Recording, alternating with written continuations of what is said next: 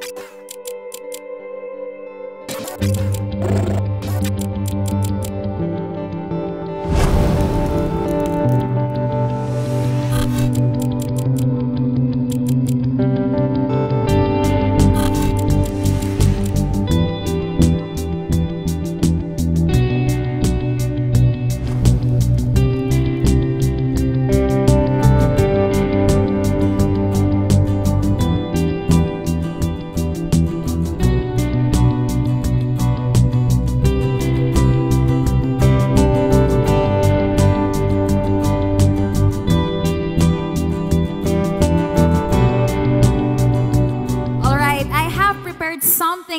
special for you this morning. In front of you, meron po kayong makikitang pockets. At kanina po, naglagay po ako ng reward dyan. So at the count of three, I want you all to get that reward. Tignan nyo kung kayo po ay isa sa mabibigyan po ng reward. Alright, in three, two, one, go!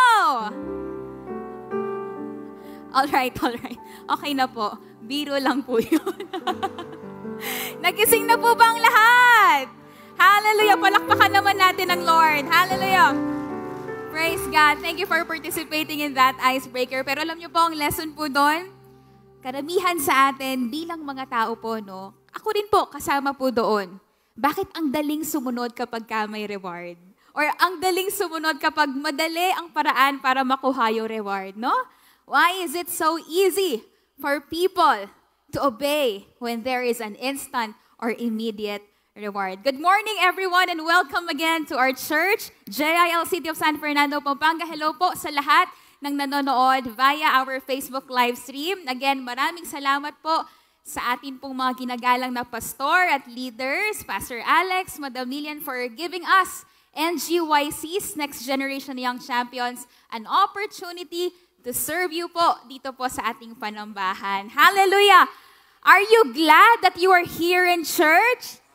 Amen and amen. Alam ko po, kanina nyo pa po nararamdaman, nararanasan ng presensya po ng ating pong Panginoon. As I was saying a while ago, it is naturally easy for a man to obey when he knows that there is an immediate or instant reward waiting for him. Example, magulang at anak.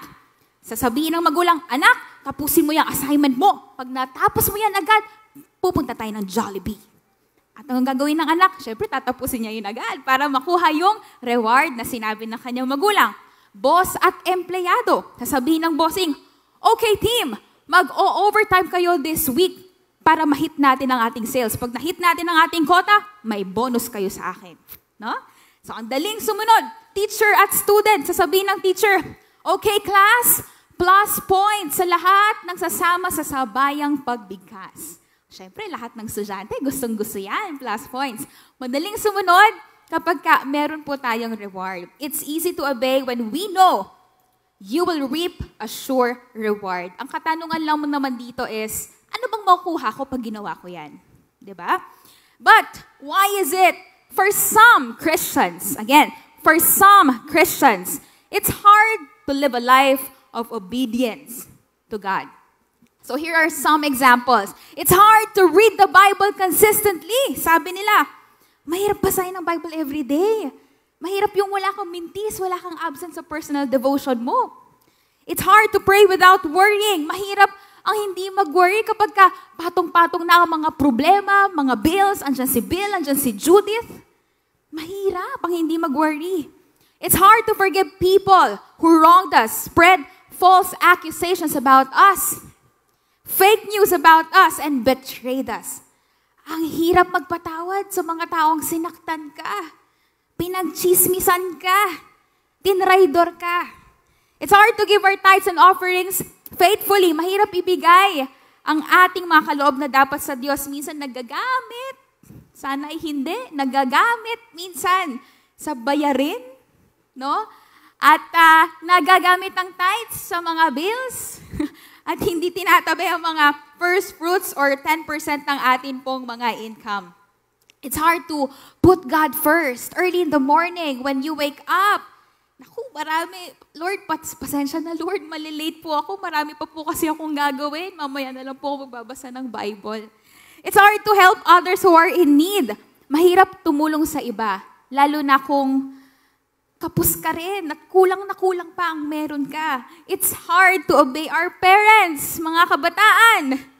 Mahirap sumunod sa magulang lalo na kung taliwas ito sa gusto ng mga anak. It's hard to maintain holiness and purity, lalo na sa mundong ating ginagalawan na puno ng karumihan.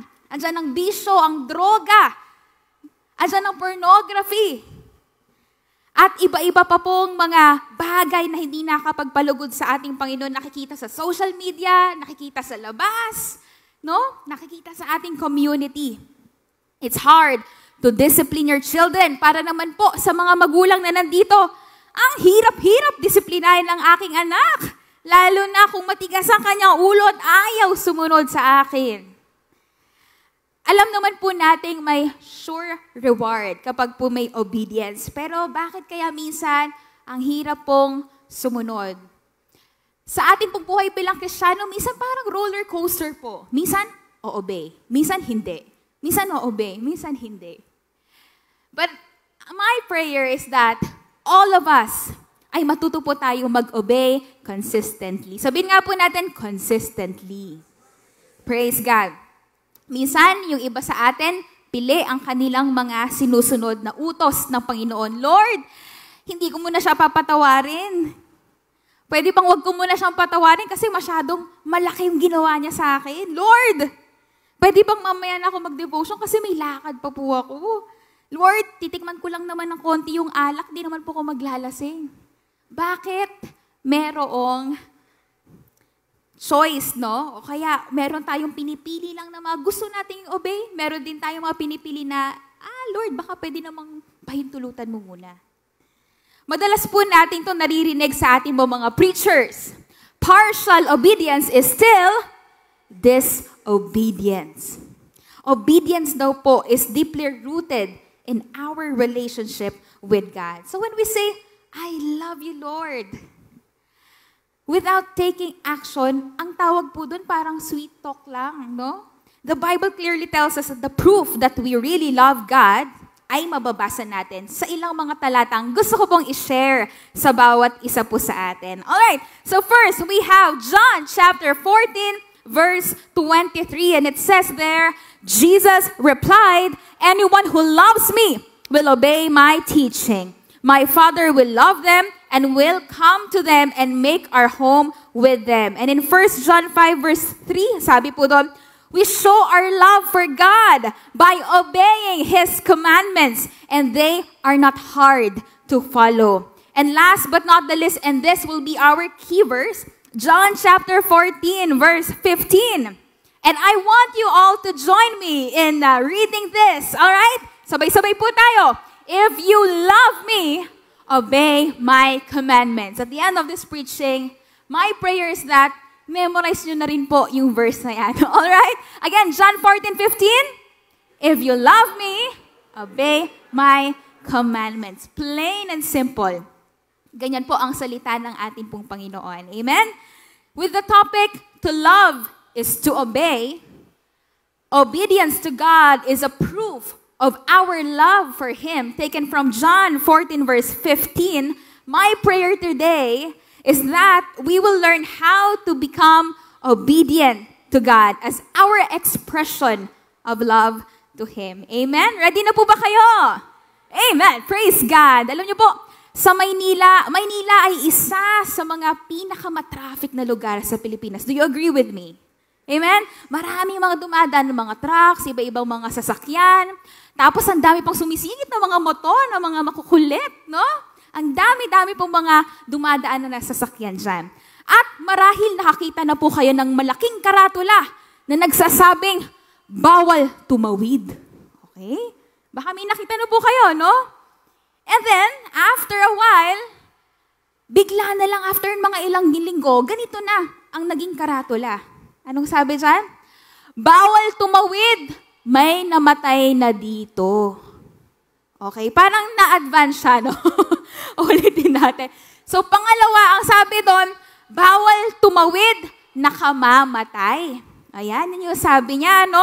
Bakit? Siguro ang kukulit, ang kukulit, may tumatawid pa din. Dinagdagan yung bawal tumawid ng nakamamatay.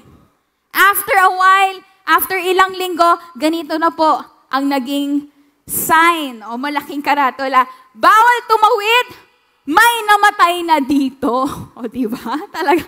Ang kukulit po kasi no, minsan yung mga Pilipino ang kukulit talaga. Dumatawid pa din. Alam niyo po, ito po ay mga mababala na nakikita natin sa ating pong kapaligiran. Ang mga babala daw po ay isang paraan para magkaroon ng disiplina ang tao, makaiwas sa disgrasya at mailayo tayo sa tiyak na kapahamakan. Ngunit marami ang hindi sumusunod o marami ang nag-aakala na kahit hindi nila sundin ang mga paalala at babalang ito ay walang mangyayari sa kanilang masama. Sabi nga nila, nasa ha, huli ang pagsisisi, di ba? Kaya makikita natin sa mga news, makikita mo may mga naaaksidente. Bakit? Dahil hindi sumunod sa babala. And you know what? Meron po tayong babala na makikita rin po sa atin pong mga Biblia. Ito po ang mga babala sa atin ng ating Panginoon. Bakit? Dahil ayaw po niyang mapahamak ang bawat isa po sa atin.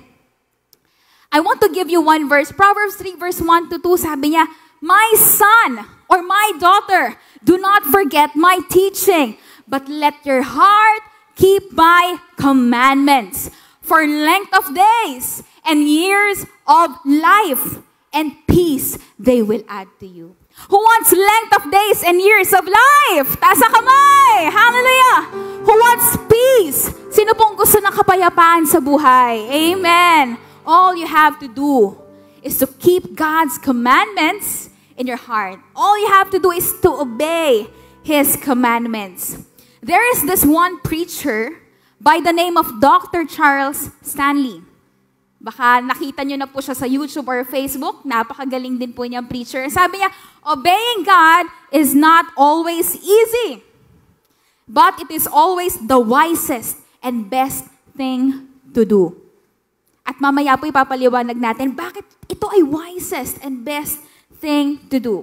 You know, from the scriptures, from the book of Genesis to Revelation, God is constantly reminding us about the importance of obedience. Over and over again, God promises that He will bless us if we obey Him.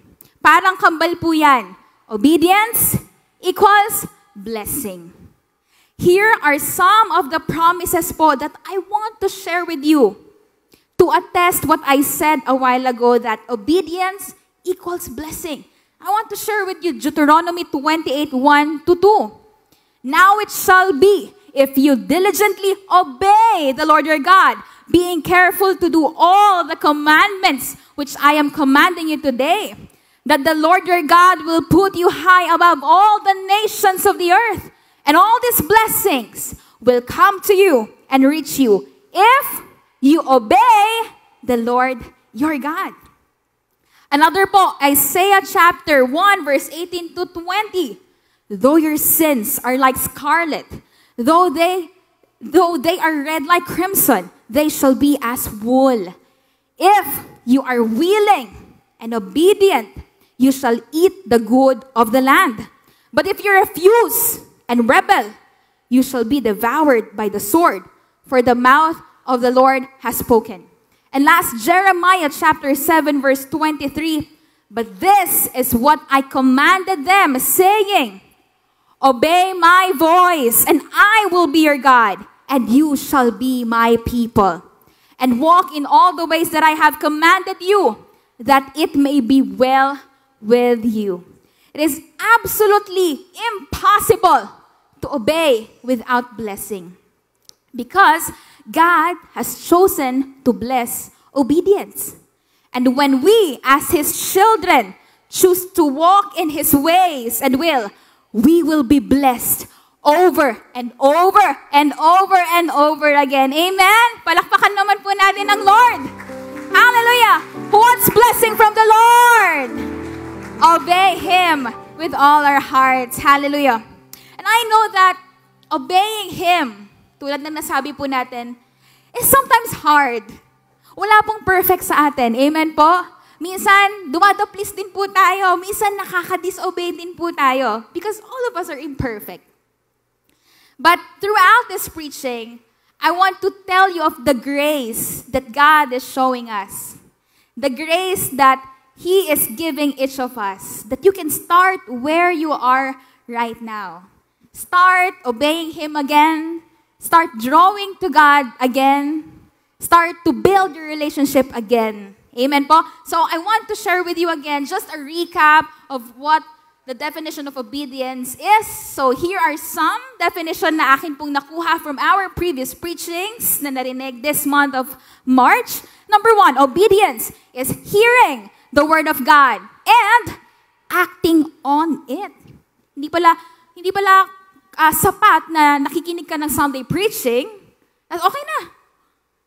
Hindi pala ganon. Kailangan makinig ka, magbasa ka ng word of God, and you have to apply it. You have to obey what is written in the Word of God. Number two, obedience is aligning our will with God's will, surrendering our desires and plans to His divine authority. Naku, minsan, ang hirap gawin nito. Minsan may gusto tayong gawin, pero, oh no, hindi pala siya will ng Panginoon. Anong gagawin natin? Do we obey our own will or do we obey God's will? Amen? Obedience is heeding God's commands, trusting in His wisdom and guidance, even when it goes against our own understanding. Bakit? Kahit hindi natin naiintindihan ng mga nararanasan natin. Ang sabi ng Lord, My thoughts are higher than your thoughts, and my ways higher than your ways. That is our God. Amen po ba? And He knows what is best for you. Sabihin niyo po sa inyong katabi, God knows what's best for you. Hallelujah. And last definition of obedience, which is connected to our preaching for today, is obedience is an expression of our love for God. It is a tangible way to demonstrate po ang ating pasasalamat sa Kanya pong kahabagan sa bawat isa po sa atin. Through obedience, we honor God and acknowledge His Lordship over every area or every aspect of our lives. It is through obedience that we find true freedom, true joy, and fulfillment in Christ. Sa una, mahirap mag-obey. Pero kapag pinagpatuloy po natin, makikita natin gumagaan. Amen? Because ang rewards ng ating Panginoon ay evident. Amen? When you obey God, there are decisions you wrestle that you won't have to wrestle now.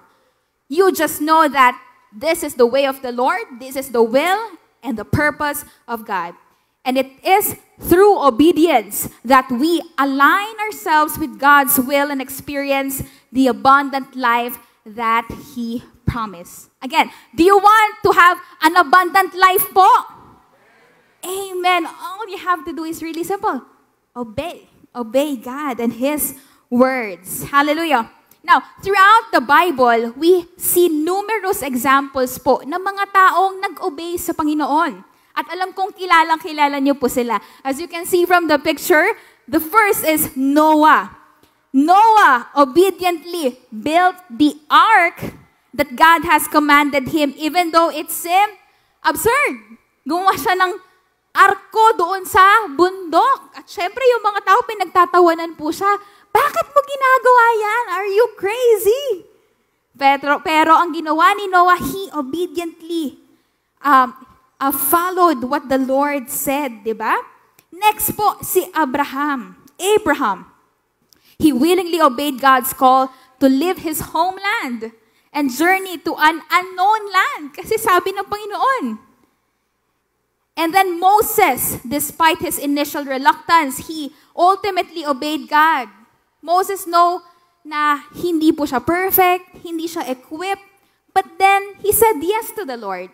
He followed the Lord to lead the Israelites out of Egypt. These stories illustrate that obedience is not always easy. It often requires sacrifice po, stepping out of our comfort zones and trusting in God's faithfulness. Yet, the rewards of obedience are immeasurable. Sabihin po natin, immeasurable. Hindi mabilang.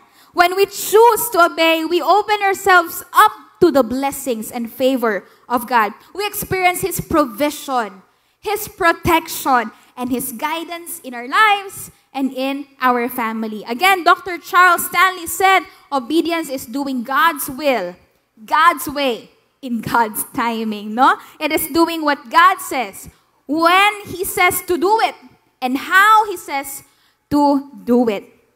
Now, I want to share with you four points lang po, no? How we can learn to be obedient. How can we be obedient to God? Again, tulad na nasabi ko po kanina sa inyo, all of us are imperfect.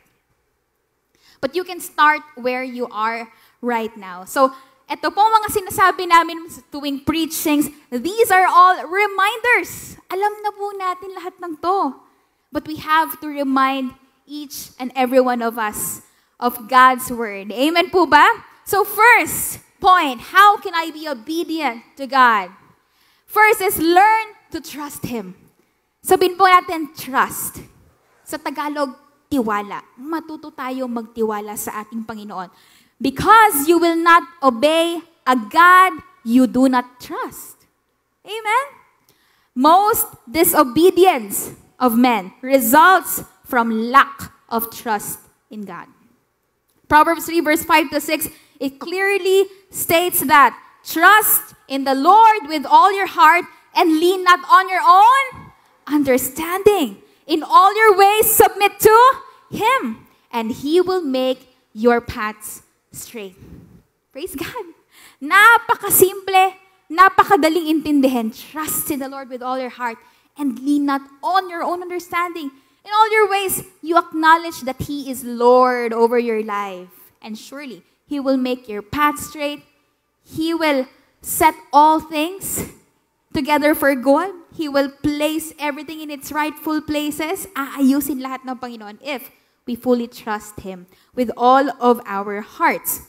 So I want, if I want to live a life of obedience, if we want to live a life of obedience, we have to settle first the issue of who is God in my life. Amen po ba? There is this quote from Pastor Henry Blackaby, a Canadian evangelical pastor. Ang sabi po niya, God's commands are designed to guide you to life's very best. You will not obey Him if you do not believe Him and trust Him. You cannot believe Him if you do not love Him. You cannot love Him unless you know Him. So, who is God in my life? And I believe you will agree with me that God is sovereign. Amen po. He created all things, and all things are possible with Him. He is all powerful and He, knows all things. He is trustworthy. Mapagkakatiwalaan po ang ating Panginoon. He keeps His promises. You know, there are thousands of promises in the Bible at ni isa walang mintis ang Panginoon. Kailanman hindi niya po tayo pinabayaan. Amen po? He is always the same yesterday, today, and forevermore. And He is faithful. Praise God. This is our God. Kaya walang duda hindi tayo dapat magduda sa Diyos na ating pinaglilingkuran. Because He is all-powerful. He is all things. Lahat ay kaya niyang gawin. Now, how do I learn to trust God? And this is the answer.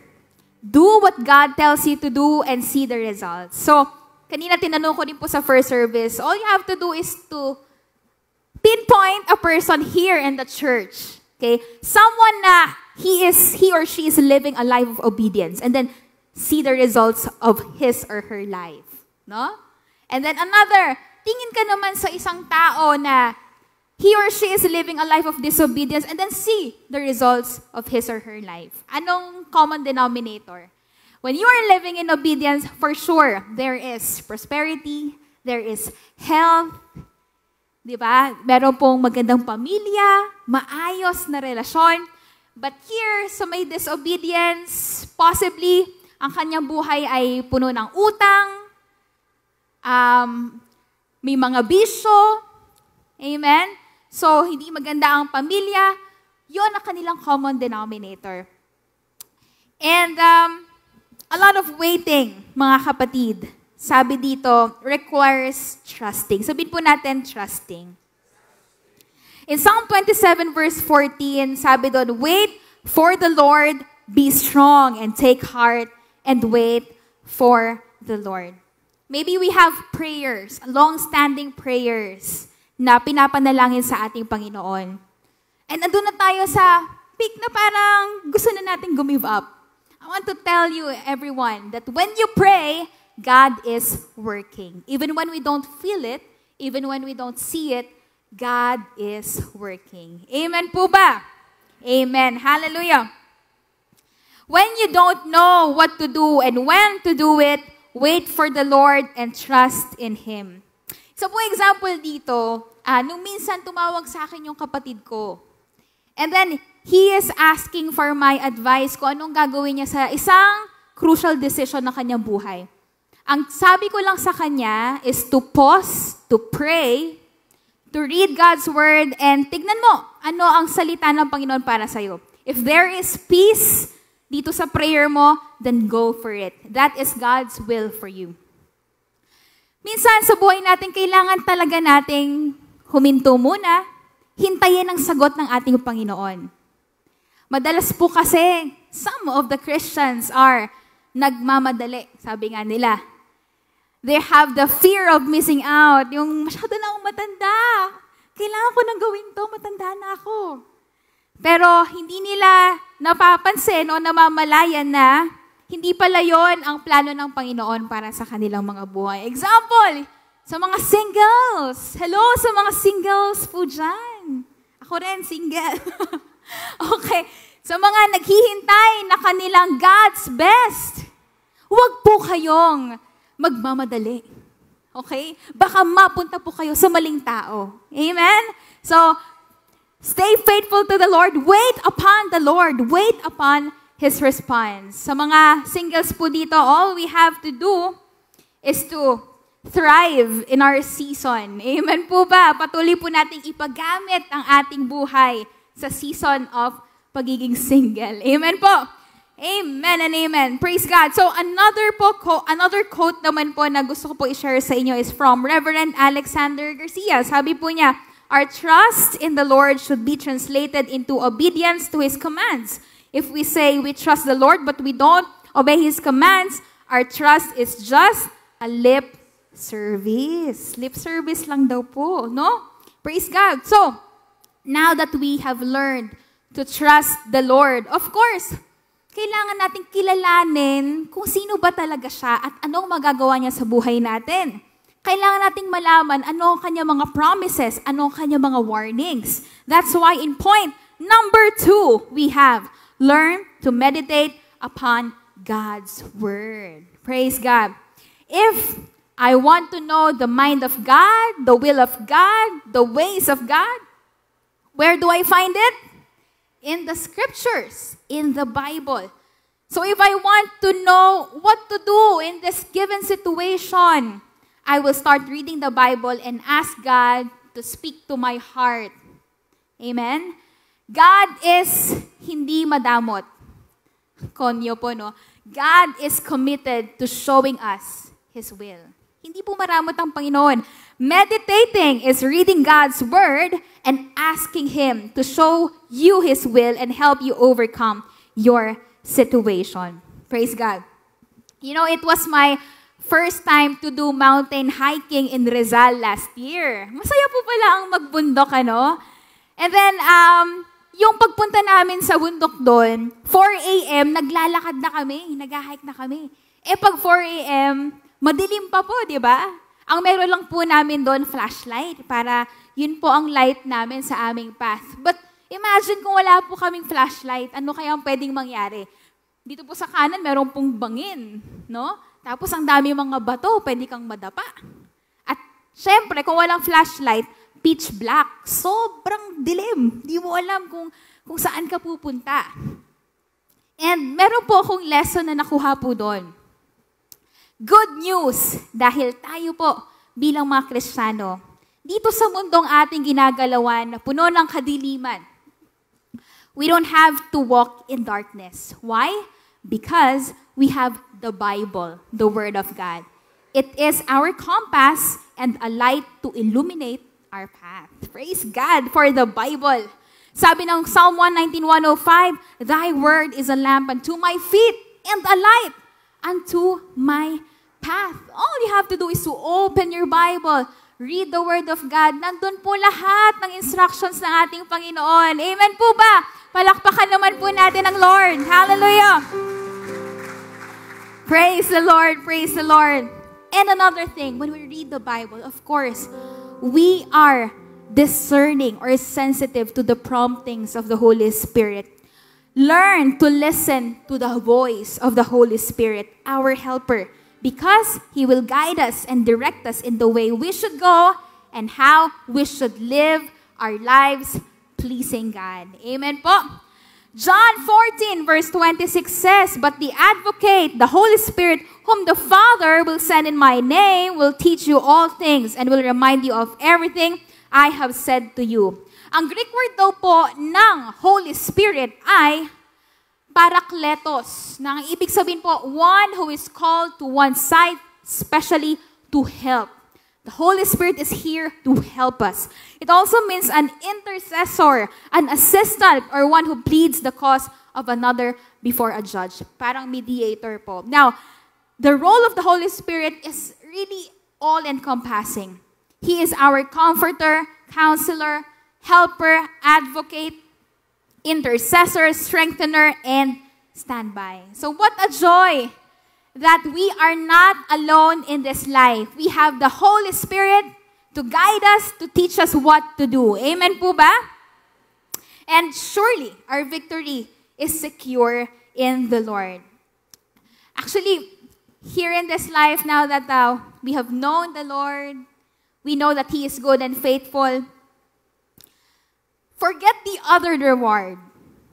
You know, just to know in your heart that you have done God's will, you have gained God's approval for simply obeying God, I think that's more than enough. Amen? Bonus na lang po yung mga natatanggap natin dito sa mundo. Yung makuha mo lang yung matamis ng ngiti ng Panginoon because you obeyed, ang sarap-sarap na po sa puso nun. Amen? Whatever God has in mind for you, this is a whole lot better than you think. Alam ko po, lahat tayo, meron pong kanya-kanya mga testimony. And I know you will attest that God has outdone your expectations. Amen po ba? May mga panalangin po kayo mas higit hinigitan pa ng Panginoon. Well, that is how good and faithful and generous our God is. So, all we have to do is to wait.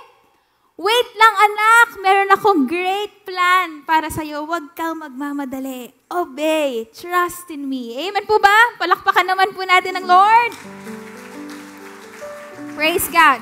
Now, in response to knowing who God is sa ating mga buhay, in response to this, we go to point number three. Learn to worship and pray. Amen? To love God is to worship and praise Him. It is written, Worship the Lord your God and serve Him only. That is found in Luke chapter 4, verse 8. And in John 4.23, Yet a time is coming and has now come when the true worshipers will worship the Father in the Spirit and truth, for they are the kind of worshipers the Father seeks. Sino po dito yung kapag ka siya po ay maraming alalahanin, mga bitbit na problema sa kanilang mga buhay, when they worship, natatanggal yon, napapawi yon.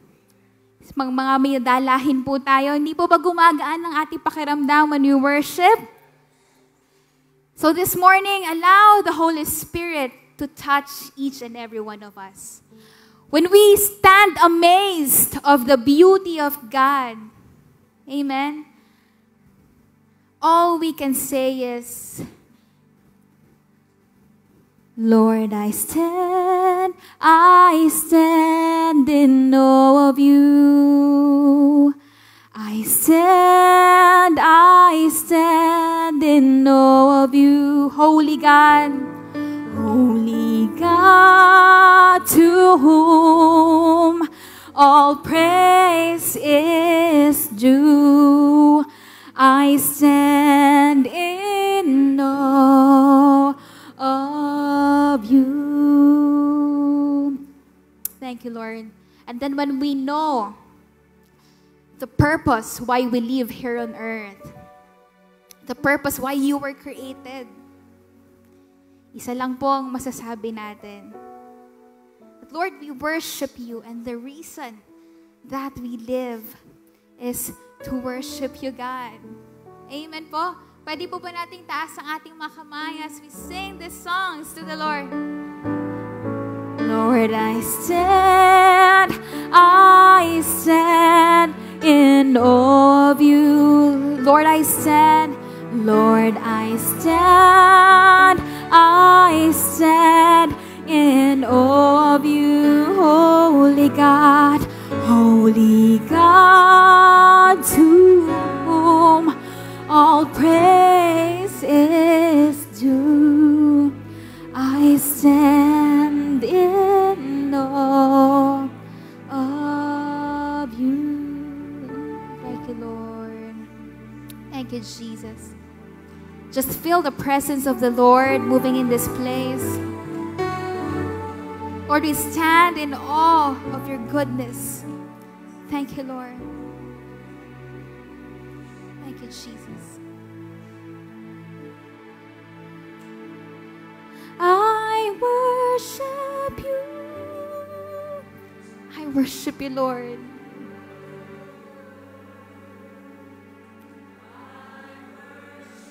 Thank you, Lord. The reason I live, the reason I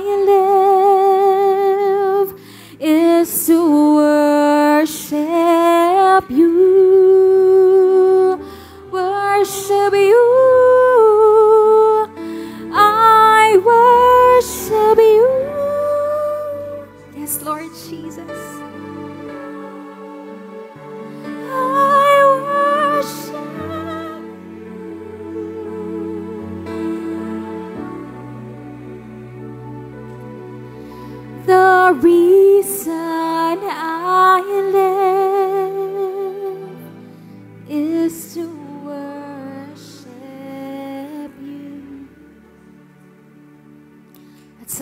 Tayo po'y mapapagod sa buhay, sa tuwing pasuko na tayo sa buhay,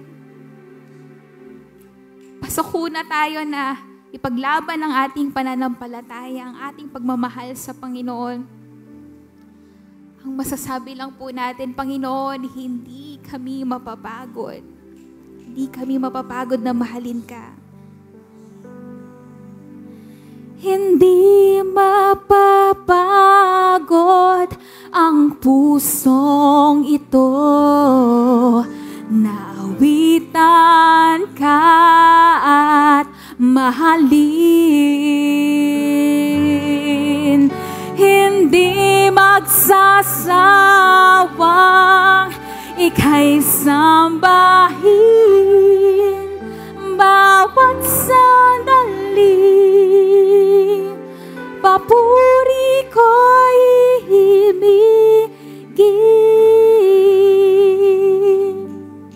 Someone said, turn your worries into worship and watch God turn your problems into praise, your trials into triumph.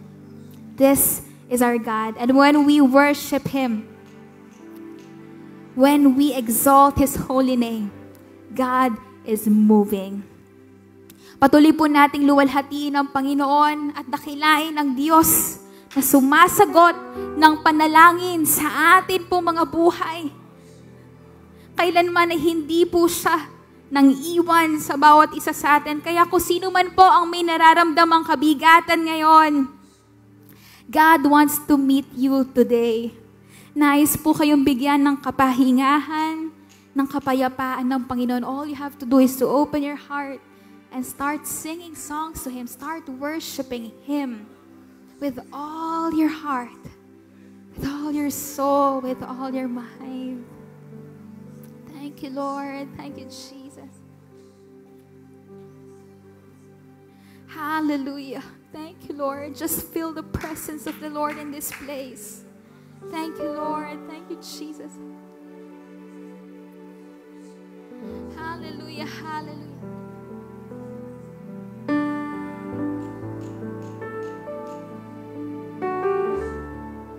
Sagot, dumidinig ng panalangin, bawat daing, bawat higping, ay iyong naba. Just feel the presence of the Lord. Kami sa'yo ay lumalapit, kami sa'yo ay dumadaing. Dinggin itong pagsamo, Tanggapin ang pag... Lahat po ng dalahin natin, dalhin po natin kay Jesus. Ikaw ang Diyos na mabuti at tapat. Ang mga pangako mo, ang mga pangako mo, O Diyos, sa amin ay sapat. At kung kami ay naninindig, at ang paligid ay kay dilim. Kami ay dadala. Ito po ang aming gagawin. Kami ay dadain sa Diyos na sumasagot ng panalangin. Sa lahat po na nakaranas ng presensya ng Panginoon, atin po siyang bigyan ng mataas na papuri. Thank you, Lord. Thank you, Jesus. Praise the Lord. Sa ating mga pasanin sa buhay, ang sabi ng Panginoon, 1 Thessalonians 5.16 verse 18, Rejoice always. Pray without ceasing. Manalangin ka ng walang humpay.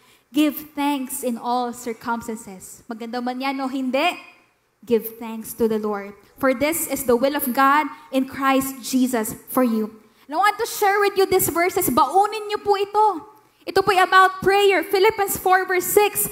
Do not be anxious. Do not worry about anything, but in everything, by prayer and supplication with thanksgiving, let your request be made known to God.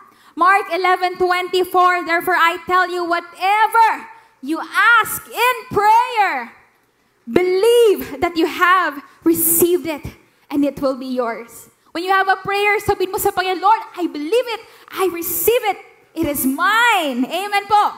Mark, Romans 8:26, likewise, the Spirit helps us in our weakness, for we do not know what to pray. But the Spirit Himself intercedes for us with groanings too deep for words. Matthew 6, verse 6, But when you pray, go into your room and shut the door and pray to your Father who is in secret, and your Father who sees you in secret will reward you. James 5, verse 6, Therefore confess your sins to one another and pray for one another that you may be healed. The prayer of a righteous person has great power as it is working. Matthew 26, 41. Watch and pray that you may not enter into temptation. The spirit indeed is willing, but the flesh is weak. And last, Colossians 4, verse 2. Continue steadfastly in prayer, being watchful in it with thanksgiving. Tayo pong lahat ay huwag magsawang manalangin because God is working when we pray. Amen. Palakpakan po natin ang Lord. Thank you, Jesus. And of course, after learning all those things, ito pong last point natin ang isa sa pinaka-importante. Learn to walk with God. You know, walking with God means partnering with God. Walking with God means working with God. Sometimes people often look in the moment. What satisfies me? What gratifies me? Without thinking of the consequences of their actions. The pleasure of the moment is never worth the consequences of disobedience. Yung konting pagsilip mo sa pornographic materials, yung konting pagsisunungaling, you know, those little sins are also sins. Amen po ba? So, what are the consequences of disobedience? kailangan po maging aware po tayo dito, no? Hindi po pwedeng pili lang yung mga gusto nating i-obey sa mga sa Ten Commandments, sa mga utos ng ating Panginoon. We have to be aware that if you obey, ito ang result. If you disobey, ito ang result. Amen? So what are the consequences of disobedience? That's pain, suffering, hurt, loss. At ang pinakamatindi, wag naman po sana, wrath of God. But what are the consequences of obedience? Blessings upon blessings, favors upon favors, breakthroughs, healing, and God's very best for His children. Sino po gusto dito ang consequences ng obedience? Taas sa kamay! Amen and amen. Ako rin po, yan po ang gusto kong consequence, no? Ang uh, yan, mga blessings po na hinanda, hinahanda ng ating Panginoon sa ating mga buhay. Sino po dito ang mahalang Panginoon? Taas ang kamay. Praise God. Tayo pong lahat, mahal natin ang Panginoon. But my question to you is, what is the evidence or the proof that you love God? At alam niyo po, nasagot na po natin yan. John 14:15, If you love me, you will obey me. So let us assess the records of our obedience and disobedience at doon natin malalaman gaano ba natin kamahal ang ating Panginoon. God has prepared the best for us. To get the best, walk in the path of obedience and pray for the spirit of obedience. Who wants the best things in life here? Amen. Lahat po tayo gusto natin the best ang atin pong maranasan sa ating pong mga buhay. And kami po, sa amin pong pamilya, want to share with you, the blessing of obedience is real. Ang aming pong testimony, alam na alam na po ninyo, no? Ako po, um, I, myself, ay naging laking church din po ako. Since nine years old, I was serving the Lord. Kahit meron akong school, may mga requirements, kahit busy, I was still serving the Lord. Kahit nasa Baguio ako, doon ako nag-college, nag-serve ako sa Panginoon at hindi ko pinutol ang aking ministry. I believe the Lord saw everything, lahat ng mga sakripisyong iyon. And now, God has blessed us with tremendous blessings beyond our expectations. Ito lang aming panalangin, pero God exceeded our prayers, exceeded our expectations. You know what? Di ba, last time po, ang sabi ko po, ang kapatid ko nag-graduate na. Ngayon po, may trabaho na po siya. And um, mukhang pinag-aagawan uh, po siya ng, uh, praise God, ng ibang company. Praise God for that. And alam naman po natin, mahirap pong humanap ng trabaho sa panahon ngayon, di ba? So, praise God dahil uh, ang aking kapatid ay, he is experiencing now the blessings of the Lord. Ang aking kuya, ng aking sister-in-law, sabi ko po, meron po silang isang branch sa may magliman ng Farmacia Guanlao. Alam niyo po, this year, nagkaroon po sila ng second branch naman sa Maimpis. Praise God. All for God's glory po. And then, um, ang aking pong tatay, meron din po siyang business, yung MCF Van Rental Services. So, ito po ay expanding na at uh, next year, may mga pinaplano to really expand the business. So, lahat ng ito galing sa Panginoon. At ako rin po, I am 27 now. So, praise God, I'm still single. And uh, um, nagpapasalamat po ako sa Lord because He had preserved my life. Amen? At uh, natutuwa ako dahil na-enjoy ko rin po yung fruits ng akin pong labor. While I'm still single, naranasan ko mag-travel abroad. So, nakapunta po ako last year sa Vietnam. Napakaganda po ng uh, lugar pong iyon. So, yun po isa sa mga prayers po namin. Or actually, there are Some prayers na nakalimutan mo na, pero pinaalala ng Lord. Nung pag nandyan na, ah, prayer ko pala to noon. Ang Lord hindi nakakalimot. Amen? Yan ang atin pong Panginoon. And you know what? I believe that these are the results of my obedience and the obedience of our family. We will not experience these things if hindi kami sumunod sa ating Panginoon. Hindi namin pinaglaban ng aming pagmamahal at pananampalataya sa Kanya. I know there are a lot of us are experiencing heartaches, pain, and suffering. Maybe you have thought of, Lord, bakit ang unfair mo? Bakit sa amin mo pinaranas to? Pero hindi po nagkakamali ang Panginoon. He has a purpose kung bakit niya pinaranas sa yan. Marahil pinapalakas po niya kayo and He wants you to see His power over your life. Just trust Him. Sabihin niyo po, trust. Amen. Palakpakan po natin ang Lord. Hallelujah. Praise God.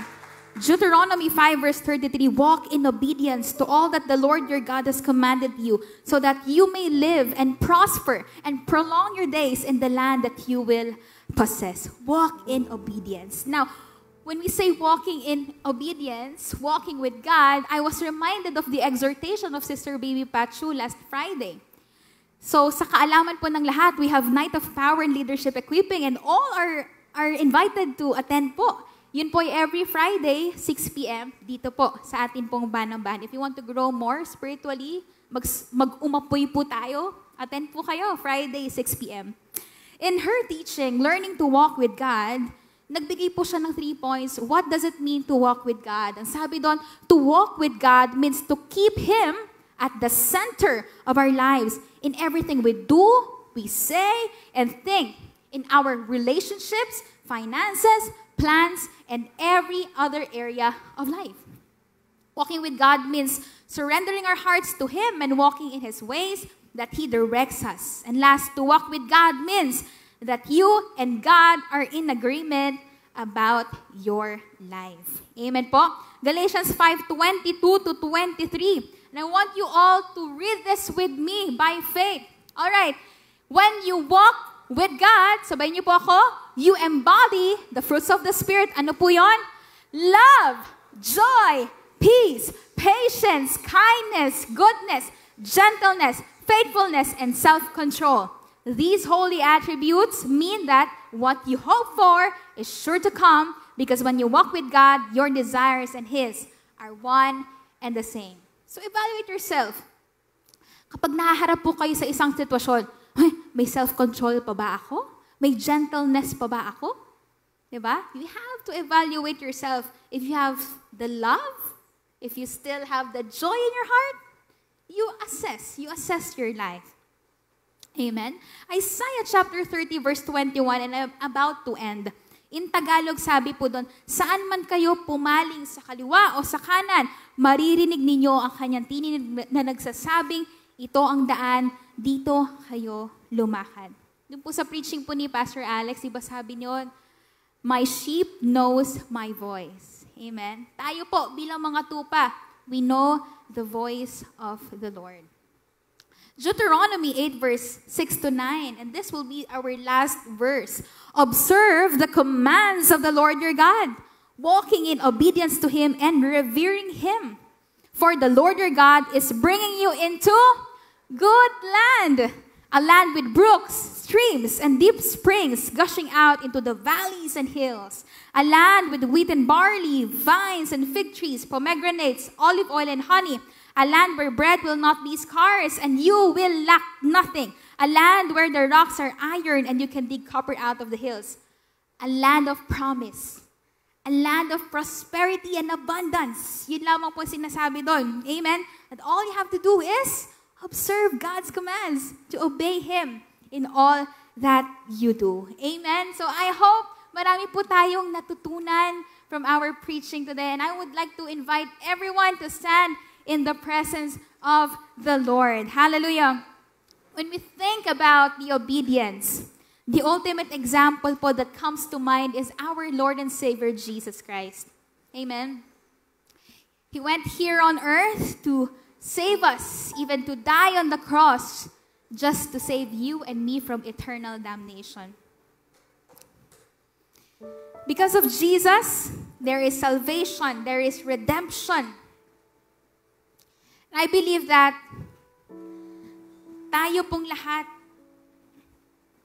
we are given this privilege to to obey God and receive all the benefits, all the rewards na nakadikit po doon.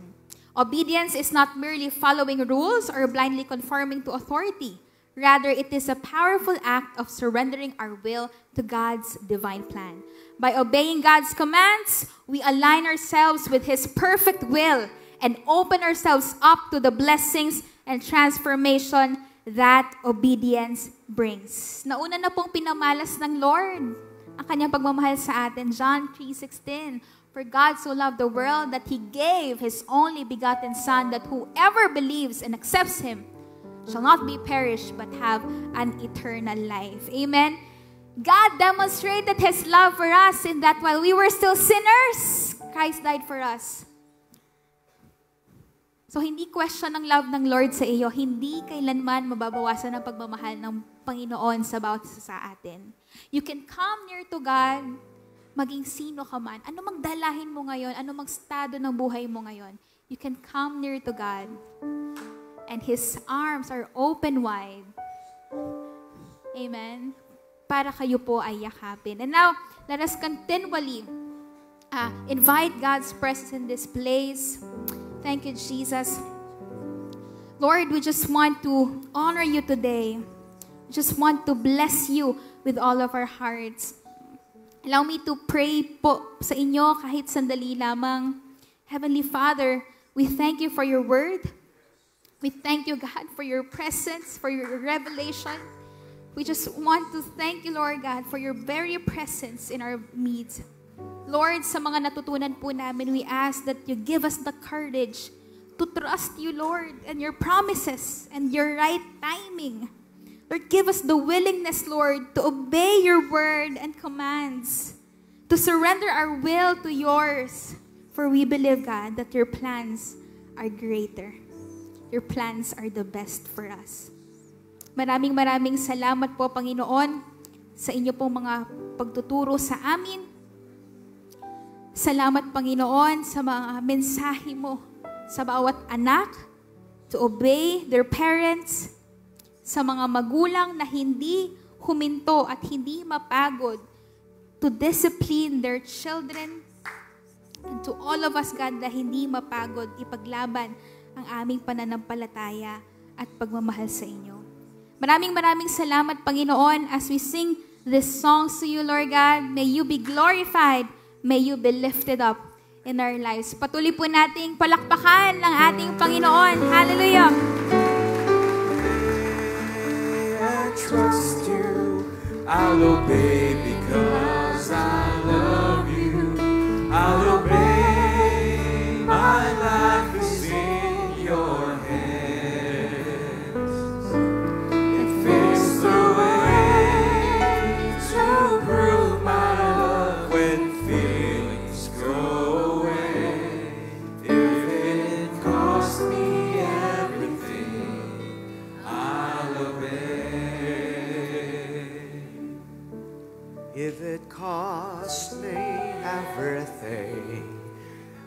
I'll obey. If it costs me everything, I'll obey. Thank you for your presence, Lord. Wonderful Jesus.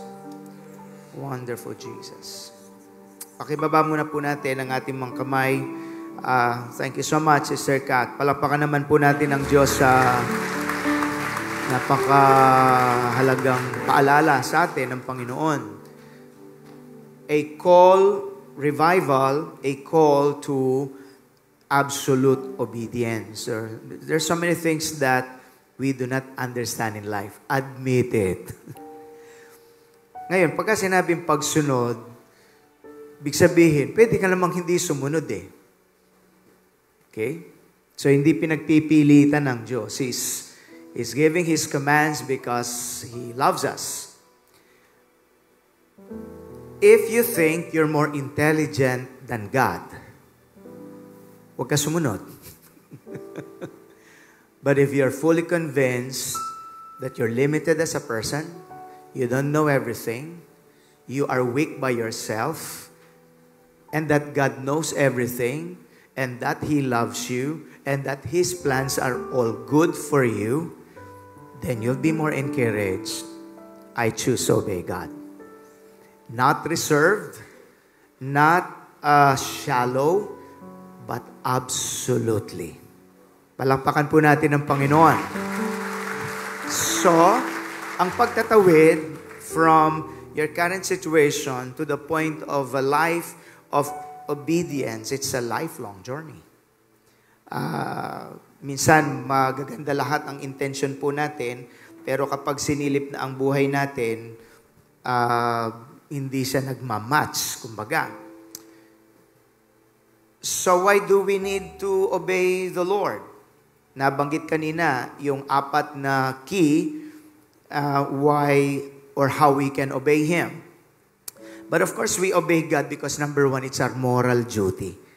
Pakibanggit po natin, moral duty. Tungkulin natin yon, hindi natin nilalang ang sarili natin. May lumalang sa atin. So, delik- delikado ang buhay ng mga una tigit sa lahat. Hindi sila kumikilala sa Diyos. Because they think they're too smart, they're too intelligent, that they can have their own way. And the Bible calls that the self-focused kind of life. It's pride. Uh, Bumabalik sa ganun ang tao eh. And we think we're the center of the universe, all attention should be upon us. We're not the center of the universe. Alam nyo, ano mang ilagay po natin, makinig tayong mabuti, maging kayo po na nasa live stream and our brethren in the overflow spaces. Whatever you put at the center should be able to sustain everything about you. So, kapag inilagay mong sentro sa iyong buhay, trabaho mo, companies can hire you today, today and fire you tomorrow. Delikado ka. Pag nilagay mo ang damdamin mo sa sentro, your feelings can fluctuate. Minsan nas nakamod ka, minsan wala ka sa mood. E, anong mangyayari na sa mundo mo? If you put a person uh, at the center that you love so much, ayun, binrake ang heart mo, hu-hu-hu ang nilalagay mo sa post mo sa FB mo. Whatever you put at the center should be able to sustain everything. Only God can do that. Only God can do that. Purihin natin ang Panginoon. If you put yourself at the center of everything, you will fail. You will fail. So, it is wisdom. I don't know everything, Lord. You know everything. I trust you. I will obey you.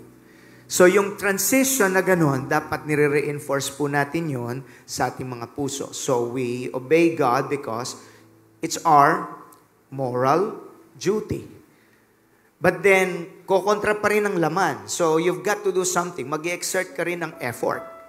It will not happen ng basta ka na sumusunod, kundi magpapasya ka, may effort po tayo. Kakambalan mo lang ng pananangan sa Diyos because willpower is not enough. We need God's power. Kaya ang susi na dadaanan sa iba't ibang portion of the preaching today, uh, salamat nung sinabi ng Diyos na sumunod ka sa akin, tutulungan ka pa niya. Paano mo magagawa yon? Purihin ang Diyos. So it's not just all about you proving that you can do it. That's called bravado. Pagyayabang yon. That I can really do it. That is still flesh. You know, you can obey God in the flesh or you can obey God in the spirit. Obeying God in the flesh, that will result to religiosity. So may mga tao, simba naman ng simba, pero hindi nababago ang buhay. Religion lang kasi. That's still flesh. But obeying God in the spirit is saying, Lord, I can't make it without you.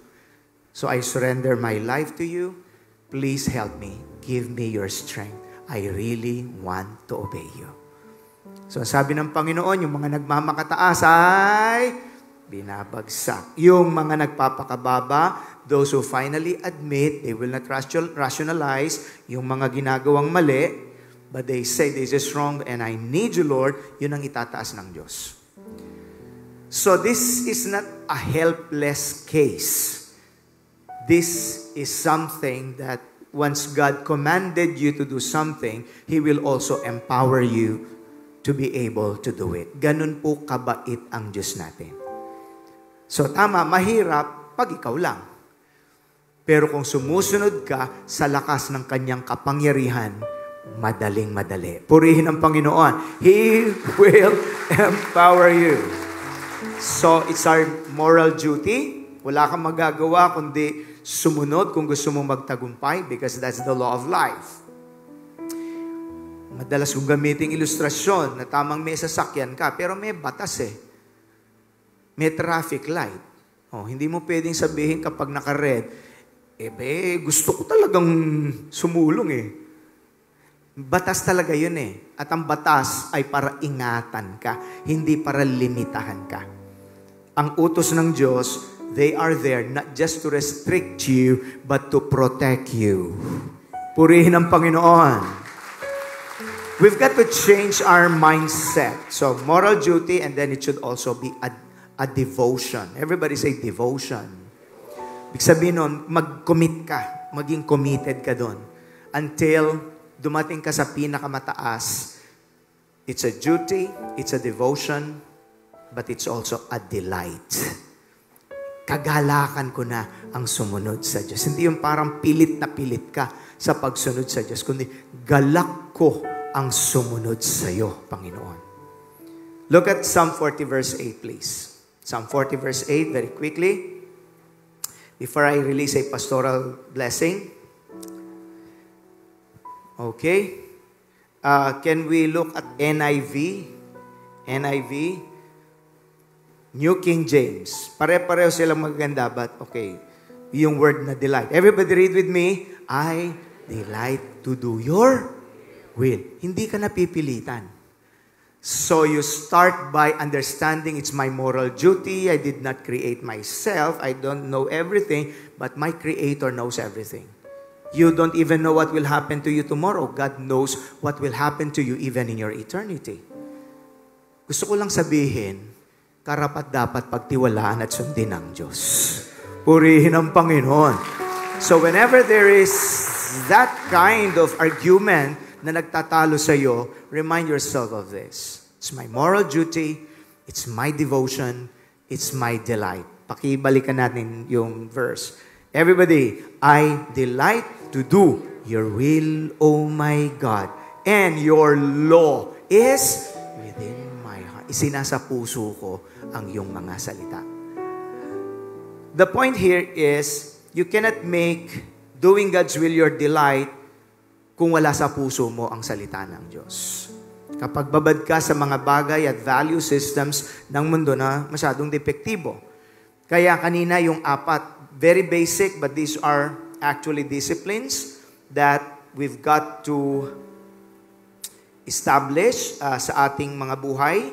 Ano po yung apat? Balikan lang natin. Learn to trust God. Second, learn to meditate upon God's Word. So, dito mo ipapasok ang mga discipline hanggang dumating ka that to obey you is my delight. Kesa doon sa lagi kang hirap na hirap na parang may utang na loob pa ang Diyos sa iyo sa pagsunod mo. Hindi. Tayo ang may utang na loob sa Panginoon sapagkat binigyan niya tayo ng buhay, binigyan pa niya tayo ng gabay sa kanyang mga salita. Purihin ang Panginoon. Pakisabi mo sa iyong katabi mo, Walang utang ang Diyos sa'yo. Nakakalimutan ng iba yan eh. Na para bagang ang Diyos pang may utang na loob. Hindi ho. We owe it all to Him. Binigyan pa niya tayo ng guidance, so, and then learn to worship and pray, and then learn to walk with God. I, I tell you, it's a journey. Yung ibang nakaranas na, lalo silang na-encourage. Alam niyo kung bakit, mga kapatid? Sapagkat finally, natuklasan talaga nila, totoong totoo, hindi sinungaling ang Diyos. Bakit? Nararanasan nila ang tremendous blessing ng Panginoon eh. Who doesn't want that? Who wants blessing? So therefore, obeying God is a delightful path to God's blessings, not a dreaded requirement. Ito'y delightful na daan para sa pagpapala ng Diyos. Hindi ito dapat na parang kinatatakutang requirement na iniiwasan. Hindi. Daan ka sa daan ng pagsunod, naghihintay ang pagpapala sa iyo. Purihin ang Panginoon. Encourage yourself with this basic truths of God's Word. Pakibanggit sa iyong katabi uli, hindi sinungaling si Lord. Let all men be a liar, but God is true and faithful. So, the challenge is by His grace, is how can we reflect His commands through our actions. Kasi iba yung talk is cheap eh. Talk is cheap. Pero pag nasa actual na temptasyon ka na, magre-resist ka ba? O mag-yield ka? Yun ang mga sukatan dyan. So, herein is the reminder that many times our actions need a lot of catching up with our claims of faith. Ang ating mga aksyon, madalas kailangang ihabol natin sa mga pag-angkin natin ng pananampalataya natin. So, yun ang magiging spiritual growth journey po natin. Look at this, Psalm 119 verse 4 to 6. Napakaganda. 119 verse 4 to 6. Everybody, you have charged us to keep your commandments carefully. So, how can you obey God's commandments if you're not even taking time to read His Word? Kaya yung mga discipline dito, kung apat na oras ka sa yung computer game, bakit kinatatamaran mo ang pagbubulay ng salita ng Diyos? So that's the that's now the discipline that you've got to adjust. Have some of that pero don't forget the Word of God. Computer game will titillate your emotion, but it cannot save your soul. It cannot give you a blessed future. So, verse 5. Oh, everybody, that my actions would consistently reflect your decrease. Minsan, pasumpong-sumpong tayo eh. Pero ang goal natin ay lumago tayo na mas malakas na ang pagsunod. And then verse 6, Everybody, then I will not be ashamed when I compare my life with your commands. Finally, our actions are catching up with our claims of faith. Purihin ang Panginoon. God's word is very rich. So, further, to encourage you, kasi nakakatuwa, alam ko iniisip ng ibang mga magulang, nawa ang lahat ng anak ko kapareho ni Sister Kat. at yung marami natin mga NGYC. Because their parents started them up early. Tinuruan ng salita ng Diyos, magtiwala sa Diyos. They're not without problems. Of course, they've encountered pag narinig yung patuto nila talagang mucho hirap. Nakausap ko si Brother Marlon eh. Maluha-luha pa. Pero pastor, hindi po kami pinabayaan ni Lord. Dumating yung time, kailangan naming mag-fasting kasi walang makain. Pero tinaguyod nila ang kanilang pamilya. Sinampalatayanan nila ang Diyos. Purihin ang Panginoon. Now, they're being blessed. Pero hindi overnight. Kaya ulit-ulit sinasabi ni Kat kanina, wait ka lang, huwag kang mapagod sumunod sa Diyos. Huwag kang huminto sa pagsunod sa Diyos. Darating din ang ani ng kanyang pagpapala. Purihin ang Panginoon. That's His promise. Right? So, in obedience to our God, you cannot obey God in your own terms. It's His terms because His ways are always right. They're, they're higher than our ways. But I would like to add here a very important aspect. Kasi yung iba excited. But you've got to apply something. Sociologists and psychologists discovered something sa human uh, psyche, which is ano ang sekreto ng mga nagtatagumpay? And they discovered this, delayed self-gratification. It's scientific. Na hindi mo lahat pagbibigyan ng gusto mo kasi sasambulat ka. Don't live just by your carnal instinct. So delay your self-gratification. Uh, bago ko i-reward ang sarili ko, tatapusin ko yung assignment na to. That is an application of that principle sa mga estudyante ah, itong bagay nito magiging masaya ito, ah, pero iniisip ko yung konsekwensya, masama. Delayed self-gratification para ma-involve mo, ma-engage mo ang iyong kapasidad mag-isip so you can involve wisdom, you can re-engage your values, so mas mapoproseso mo ang iyong gagawing pasya. The Bible calls it self-control. So we need Focus. Everybody say focus. We need discipline. Everybody say discipline. Desire is not enough. You need to translate your desire into discipline, and focus. What if you fail? Pick it up again hanggang sa ang yung muscle of discipline papalakas ng papalakas sa tulong ng Diyos. Ganyan na-deliver po yung mga na- napatihulog sa online sabong, online sugal. Hirap na hirap na nga, magsusugal pa. So what happens? Lalong bumabaon sa utang. Pero ayaw niya, pero hindi niya mapigilan ang kanyang sarili. Yung iba, bisyo na nakakasira ng baga. Marami tayong nagagawa, nagawa ng Diablo para sirain ang buhay natin. Pero meron akong good news. Ang yung bisyo, hirap kang mapagtagumpayan yan, si Kristo mas makapangyarihan sa bisyo. Kaya kang palayain ni Kristo sa mga masasamang bisyo. Purihin ang Panginoon. When you surrender yourself to God. Nalungkot ako eh, dun sa nabalitang imagine sa kaya buti na lang may Mayor Vico, no? Nawa, yung lahat ng local executive, ganon. Pinahinto ang sugal doon, lalo na yung, ah, ah, ano ba to, yung ah, online, ah, no, sa, online sugal. Kasi may nanay, oh, pati anak binenta. Grabing grabe na yon. These are demonic bondages of the enemy. So tandaan po natin, ang mga utos ng Diyos, hindi sila pampabigat sa buhay, pampagaang sila sa buhay. You don't, you don't, you, you want to see the verse? Pinakita na kanina, 1 John 5.3 please. Okay, look at this verse. Armas natin ang salita ng Diyos para talunin ang kasinungalingan ng kaaway. 1 John 5.3 please, very quickly. Everybody, loving God means keeping His commandments. And His commandments are not hindi pabigat ang mga utos ng Diyos, pampagaan sila sa buhay. Purihin ang Panginoon.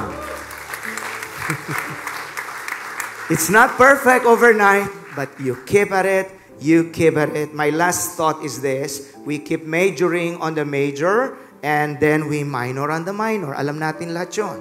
Hindi lahat pantay-pantay ang value system po. Okay?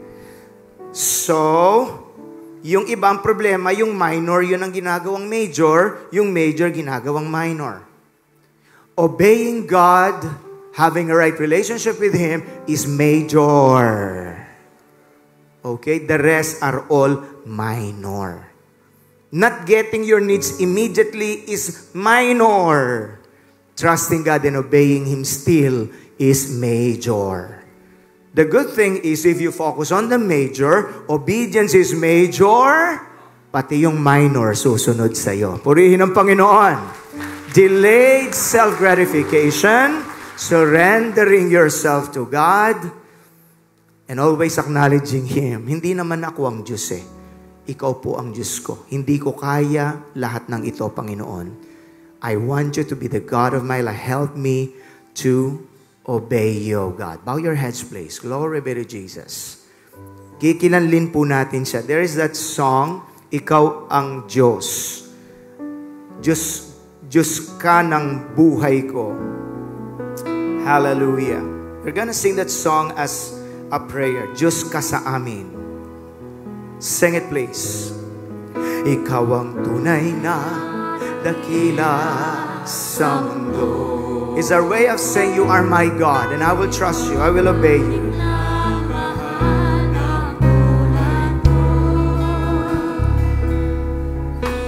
Ginawa mong lahat, pag-ibig mo'y tapat at wagas. Yes, Lord. O Diyos, wala nang papantay kabutihan mo. Ang ngalan mo'y itataas sa buhay ko. Sundin ang loob mo. Sundin ang loob mo. Marinig ang nais Gawin po natin pangako sa lahat Sa lahat ng panahon Diyos ka amin Sa lahat ng oras Nariyan para sa amin Panginoong Jesus Turihin Dakilain ka sa buhay ko. aking Ama, aking Ama. Sing it again, O Diyos.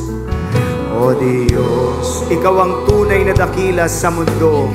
Tunay na dakila. Because we trust Him, we worship Him.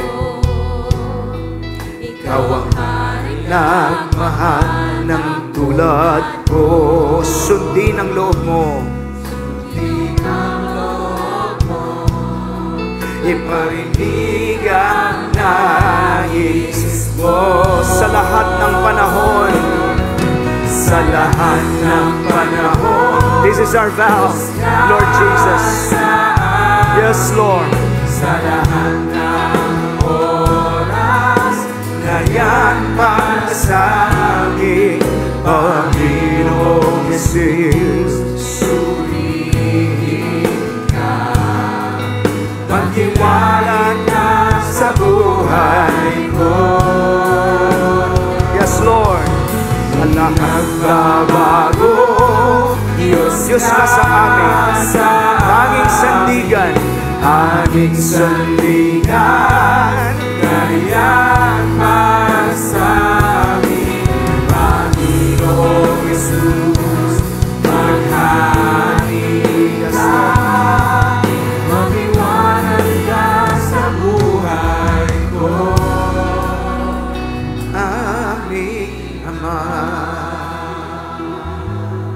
hand is lifted before His presence. The Lord said something is in, in His word. Two or three are gathering in His name. He promised He'll be in the midst of them. God knows what you're struggling with. Ah, an area na parang natatalo ka lagi. But if you will really, really come to the Lord and say, Ikaw ang Diyos ko, Panginoon. Bibigyan mo ko ng lakas, hinihiling kong yung lakas para mapagtagumpayan ko ang mga kahinaang ito. Mahabagin po ang Diyos. You simply come to Him. Are you struggling with pornography? You're struggling with certain vices? Gusto ko pong sabihin na hindi natin kalaban si Jesus. Ang kalaban natin si Satanas na dumating upang magwasak ng buhay, manira ng buhay sa iba't ibang kaparaanan. But Jesus said, I have come that you might have life and that you might have it more abundantly. Itanim po natin yung sa ating isip at puso. Kakampi ko ang Panginoong Heso Kristo. But you've got to be honest in saying, this is wrong. I surrender it to you, Lord. Cleanse me and forgive me. Ayokong ipagpalit ang basura ng mundo sa ginto ng langit na iyong inilalaan para sa akin. Pagod na ako sa buhay ng pagkatalo at pagbagsak. Nais ko po ang iyong magandang plano sa akin. Would you follow this prayer? Sabihin nating lahat, Lord Jesus Christ, marami pong salamat na darama ko po ang iyong presensya. Nangungusap ka sa akin. Nadarama ko ang iyong pag-ibig. Nais mo kong makalaya mula sa lahat ng gapos ng kaaway. Ako yung nilalang. Ako yung iniligtas. May magandang layunin ka po sa akin. Tulungan mo kong sumunod sa iyong naising, sa iyong mga salita. Alisin mo nga po sa aking buhay ang anumang pagdududa. I put my trust in you. Be my Lord. Be my Savior. Over my life, Over my spirit, over my spirit, over my soul, over my soul, over my body, over my body, over my habits, over my relationships, over my relationship, over my disciplines. over my discipline. Be my Lord. Be my Lord. Be my God. Be my God. Today I receive your forgiveness. Today I receive your strength. I receive revival. I receive your promise. I declare, Jesus is my God. Sa lahat ng panahon, Diyos ka sa akin. Come on, lift your voices to the Lord. Sing that po. Sa lahat ng panahon. Let the devil hear it. Praise God. Sa lahat ng oras na yan para Panginoong Jesus. I know you can sense His power. You can sense His anointing. Dakilain ka sa buhay ko. Di nagbabago. Yes! Hallelujah! Sa lahat sa tanging sandigan para sa akin. Panginoong Jesus, maghari ka, magliwanag ka sa buhay ko. Aming Ama. I want to give you a chance to express your worship. Hallelujah. Oh, we worship you. We honor you. You are our God. You are our Lord. Come on. Maging kayo po na nasa overflow spaces. The anointing and the power Is touching you. Oh! Freedom in Christ. Freedom in Christ.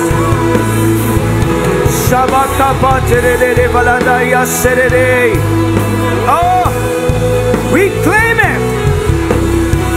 Jesus' mighty name. Thank you for deliverance. Thank you for wisdom. Sige nga po, isa pa sa lahat ng panahon.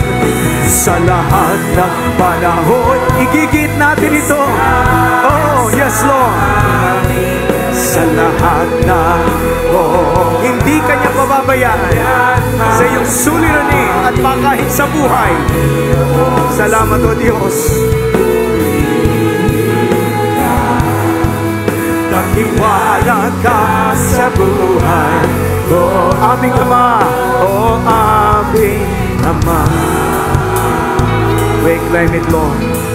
We claim it, Lord Jesus.